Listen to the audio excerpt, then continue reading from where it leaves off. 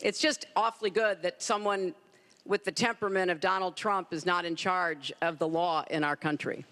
Because you'd be in jail.